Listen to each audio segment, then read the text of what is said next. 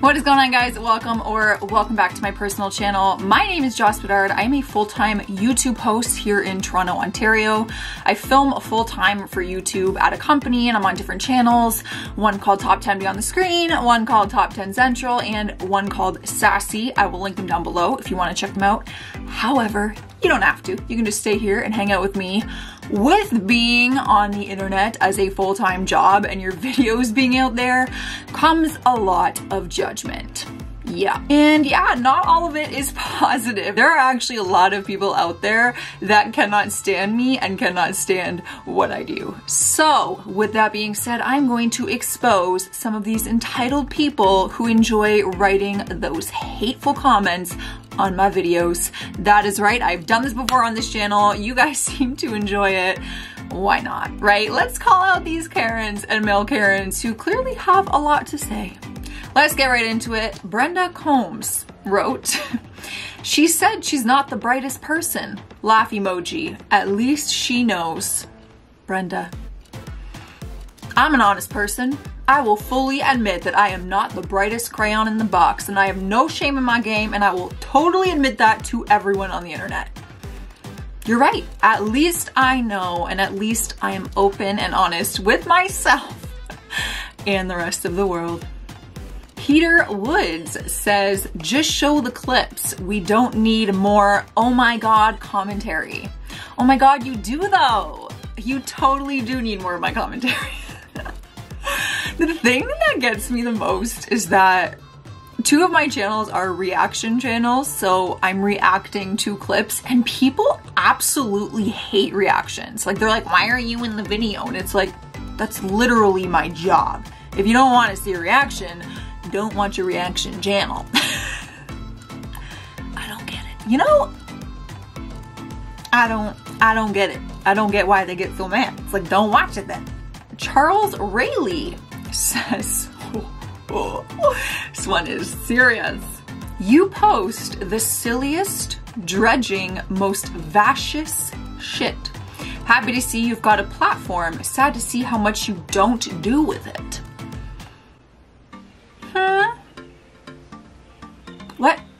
It's a reaction channel. All we post is reaction videos.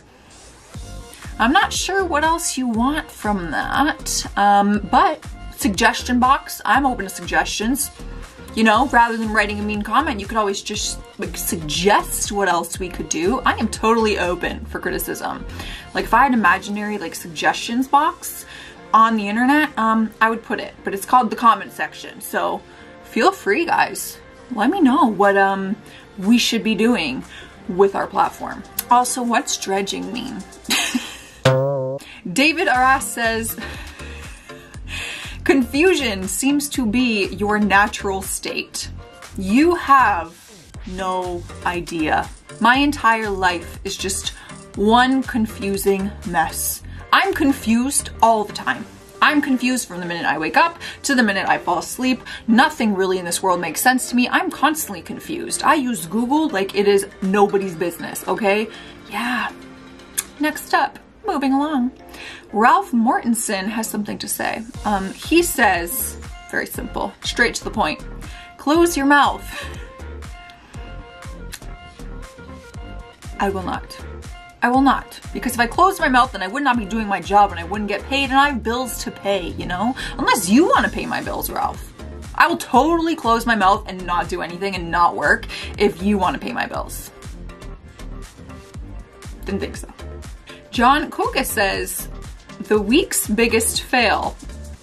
That was for my video fails of the week, so he's tying it in here. He's being strategic. The week's biggest fail was the time I had to spend trying to watch a video in the middle of all the commentary. It's like we are being forced to watch these shallow people put on a sideshow. John, I'm going to teach you something about like technology in uh, 2021 you don't have to watch. You know, you don't have to click on that video. You don't have to click play.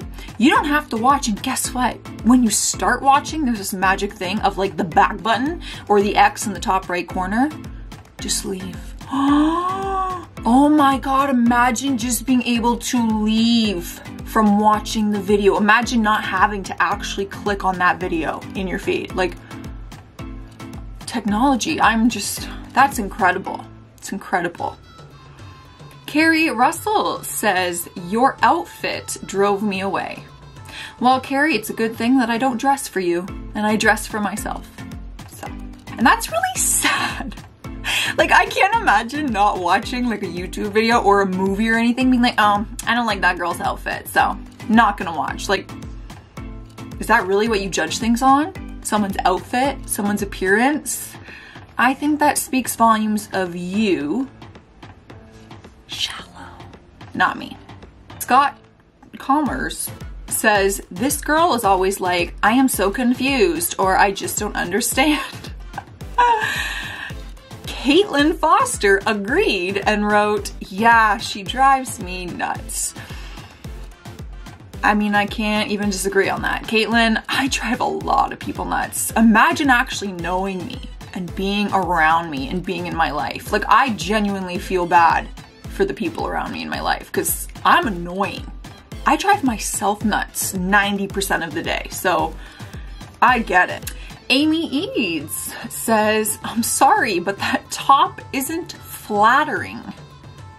Well then, I didn't know the fashion police was all over Facebook, but are you the judge of what's flattering on my body? I'm just confused. Like all these females are writing like, I don't want to watch because your outfit, that shirt's not flattering.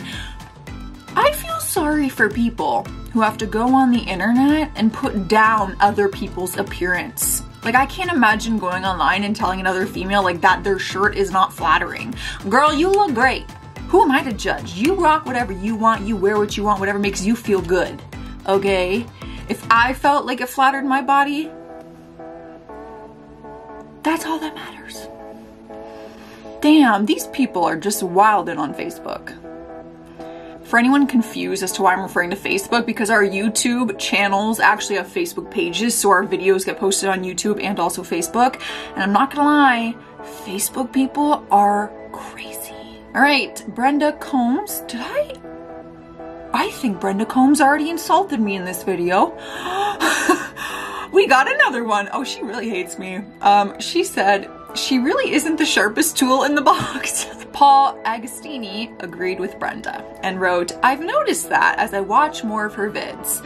Well, save yourself the time. I wish I could have told you in the first video you saw of me, not the brightest gray. Whoa. there you go, prime example. Not the brightest crayon in the box, you guys. Not the sharpest tool in the shed. Like legit. But I'm not claiming to be, so. David Gardiner says, please, please stop saying literally. If you are gonna do things like this, stop. Literally, I don't even know what you're talking about. I never say literally. And honestly, literally, if I'm gonna do YouTube, literally, who says I can't say the word literally? How many times was that? Like five? I don't even think that was like grammatically correct because I was trying to say literally. Um, for real though, like you can't say the word literally if you're a full-time YouTube host? I'm confused. I'm confused. Where's this rule book? I seem to be missing out on these memos. Alright guys, well those are some of the most entitled people on the internet from my experience obviously on my videos.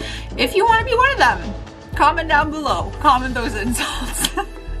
Clearly, I just like making light of the situation because what are you gonna do? You know, I'm not gonna be everyone's cup of tea. People are allowed to have their opinions of me, whatever. If they wanna judge me, I get it. So, might as well smile, laugh it off, spread kindness and positivity, and just shake it off, like Taylor Swift would say.